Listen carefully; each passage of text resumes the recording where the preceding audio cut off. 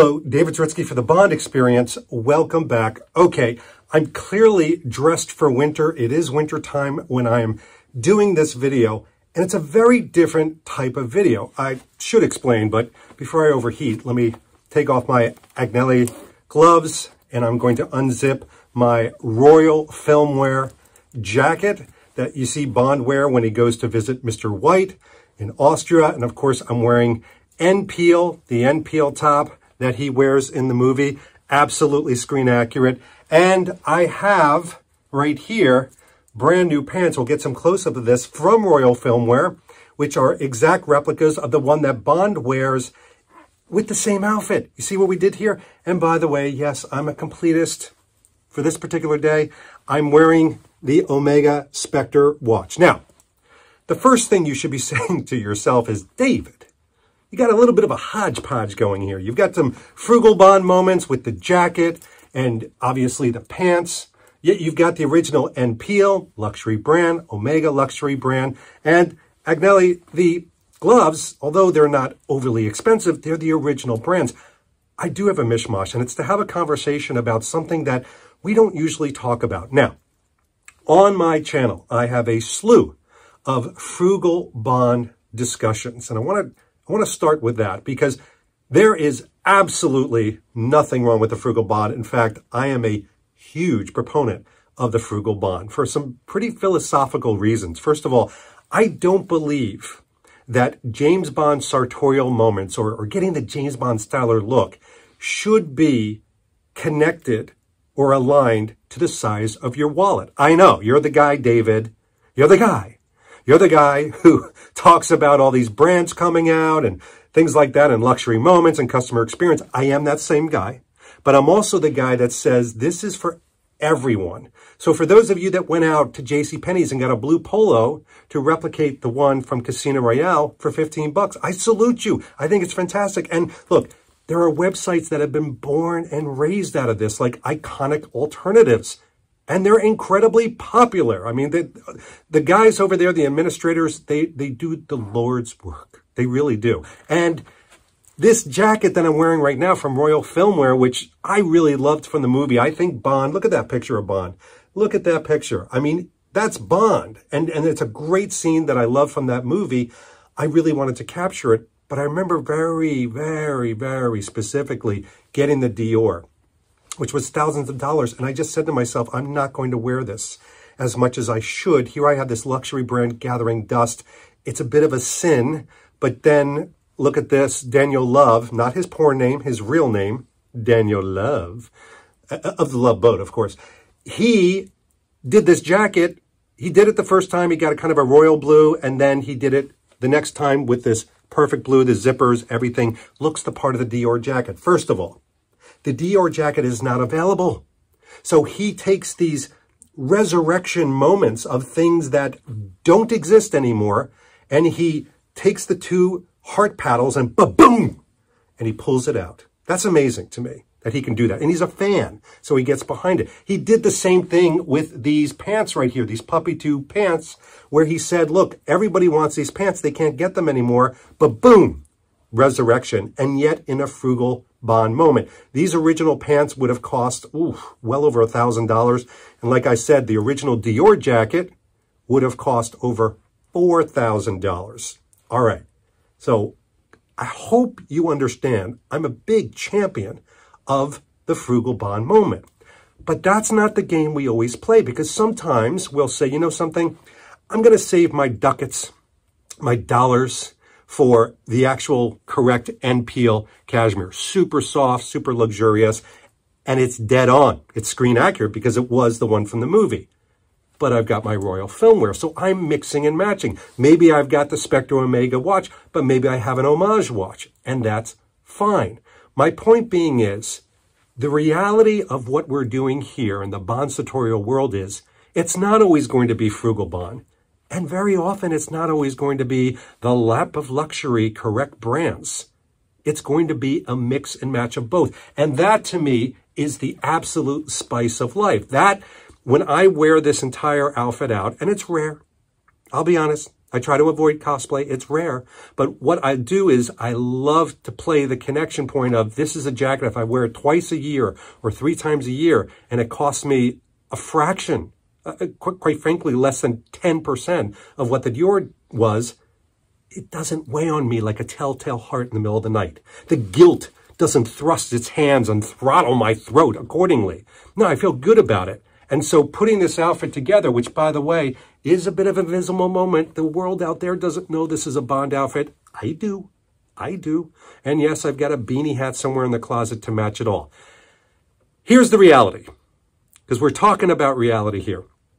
I'm not the only one who does this. I know. You're watching the Bond experience. You're like, David, you're kind of a unique individual. I don't know if you looked in the mirror this morning. I mean, eh, does everybody do this? Do they do this mix and match game? You know something? Let's ask a simple bystander. And of course, is there a bystander around when you need one? There happens to be one in my house right now. Luke Taggart. Oh my gosh, how What's are up, you? brother? How you doing? How's it going?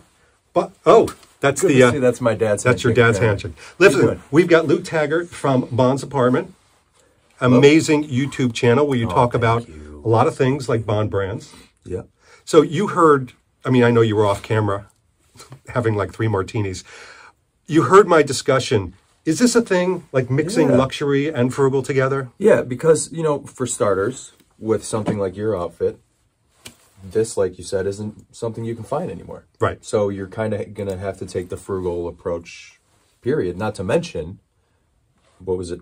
Ten times the price of Yeah, this it was version. literally 10 times. I mean, when you were talking and I was sitting there and you said, you know, it's kind of like you'll wear this out. If something spills on it or whatever, you're not that upset. I think you'd be mostly upset, like, oh, to replace it, it's going to take a while just because it's coming from Australia. Australia. But rather than I could never possibly find this thing again and it's 10 grand or whatever the original was. So, yeah. I Exactly. Mean, and it's it's good where, like you said with the watch, you've got the Quantum of Solace Planet Ocean on. I don't. I have the Oh, Spectre spe- one. Jesus Christ. He's had it on so We're not gonna edit that out because He's had it on so moment. much because it's it's basically his new watch. Okay, so you got the Spectre watch on, Right. which is of course authentic Yep. and to the outfit, but the rest of the outfit is a frugal moment, except for of course the Yeah, end it's and and by the way, for those of you eagle-eyed out there, and I know who you are, you did the same thing. I did. So I you've did. got the Levi's Menlo jacket.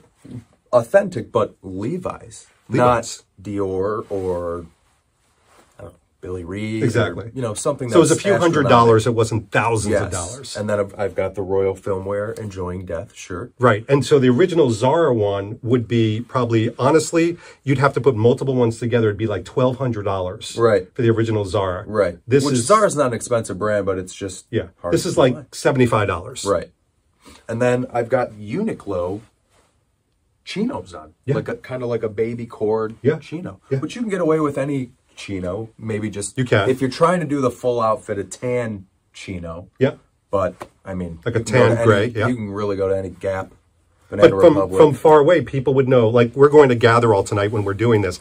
You would walk in and people would be like, oh, Oh, he's, he's wearing the enjoying death outfit. Right. I totally get Right. it. But then you mixed it up with, With- the Skyfall. So this is the Skyfall Planet Ocean that we see in Turkey, and I don't know if I don't know if we know if he's wearing a watch during this scene, but if he is, it would probably be this watch. Put it in the comments. You you would think Lorenzo would know? No. Yeah, maybe. You think he does? Maybe. I don't know. He's not here though. Never asked him. I know. But I mean, it's it's all throughout Turkey. It's when he's on the train. It's when he gets shot. So next time we see him, he is not living the luxury lifestyle. He is kind of grunging it down. Yep. And I would assume if he had any watch with him, it would be the one that he had on when he was shot. Now I'm going to grab something off screen, but while I do that, talk to the talk to the wonderful people out there. Do you do this in your everyday life? Do you mix and match these. So I do. I do because, like I was trying to point out when I incorrectly grabbed what David's watch was say you want to spend the money on something. The watch is something you can wear it every day. You can wear it. It's going to last a long time. It's but a watch, and you say it more than anybody I know. It's meant to be worn. Yeah. If it gets All scratches. I mean, and of course, you send it into Omega, as you know, they'll send it back looking brand new. But spend the money on the watch or something you really, really want, and and go the frugal route with. It's just, it's just a, you know, at the end of the day, it's a light blue long sleeve. Sure, if you can find one with any sort of blue something on it, like Right. these are blue Flowers? I don't know what, but who knows? Who cares? Yeah. Because, like David said, if I walk into Gather all day, everyone's going to know it's enjoying death. But then if I walk into some restaurant in Michigan, no one's going to know what it is. Yeah. So Thank it's- goodness. It's not cosplay all the time. They'll roll you in the alley. By the way, this is just, I wanted to give people a close up. This is what I meant by the puppy tooth, and you can see this is the royal wear. So this is, um, I'm wearing a size 32 right now, which fits me perfectly. I'm like a 31, but these have a stretch to them, which is really great. Oh, yeah. Um, they've got the right frog's mouth pocket. They've got the right, but the texture of the puppy tooth, this is, if you were trying to get a replica of this or the actual one, you would be, what are you, bombing? Uh, you'd be really hard pressed to do this. Yes. So then you've got these iconic alternatives. You've got Royale Filmwear. You've got Magnoli. These groups out there that are saying, look, you've got two reasons to buy Frugal. Two reasons. Either one, you're watching your budget and good on you, and you're you're smart like that. And then the second reason is you cannot find the pieces anymore. Like I can't find this anymore. So somebody like this makes it. Yeah. And to go back to your outfit, this is actually, I don't know if I can even say it now that we're live here, but What's that? potentially my favorite Bond outfit ever. Out of all the films. All, out of all of them. Oh my gosh. And the reason being is when he gets into Mr. White's place and Yes. he takes the beanie off, And he he's just leaning over. Fantastic. Yeah.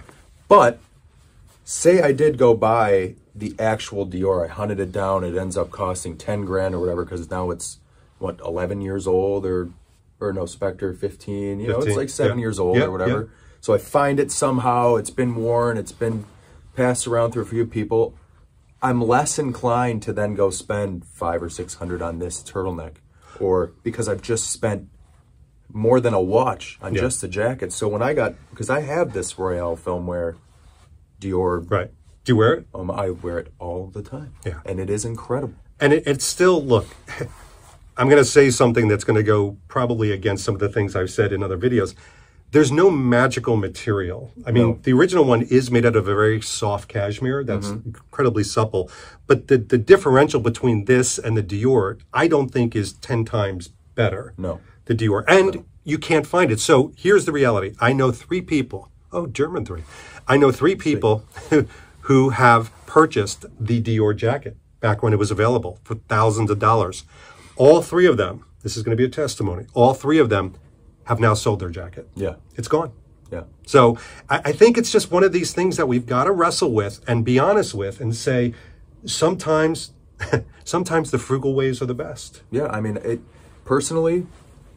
Bottom line is, I would be very scared to wear the real jacket anywhere. I mean, even something like this because of the lighter gray color. Yep. You know, it is cashmere; it can snag on things, It can. but it's not the price of that. Yeah, and it, this is hardy, which is really good. I mean, that, that's the other thing too. And it- again, this is not a video that's oh, Frugal Bond wins the day and and luxury brands. No, this is to say that the reality is is we have a mix and match situation, and I think Took the words out of my mouth.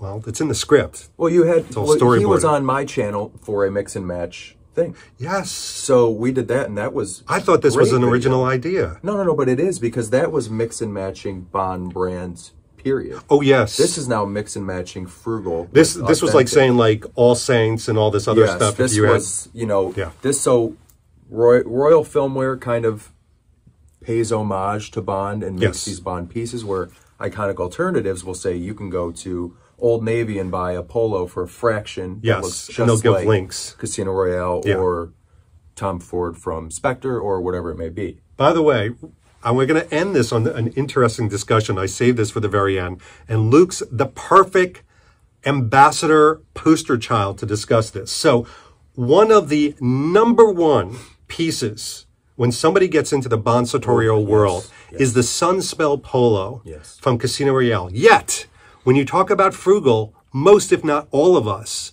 either before or during, probably wore a 15 $20 Target or Kmart, you know, Gap, polo. Old Navy, Gap, whatever. whatever it is, Navy polo. Why is it that some people will say, you know something, my first investment off of that, you know, old Navy polo is going to be Sunspel? What is it about that polo? So, for starters, it's one where if you're looking to be sartorially connected to Bond, it's an immediate, it's a no-brainer because A, it's always available. B, if you want to be kind of like I am, it's got what 20 different colors. So Yeah. you can you buy the one, be like I love, and not to mention the one downfall is the navy one that he wears is rarely on sale.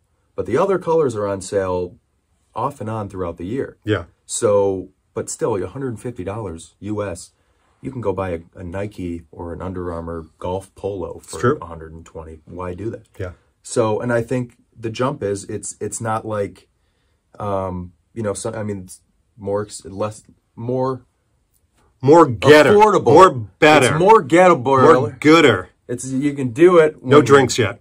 No, No drinks yet. Actually, no. It's more affordable than something like the NPL or whatever, which N- NPL's got its purpose, of course.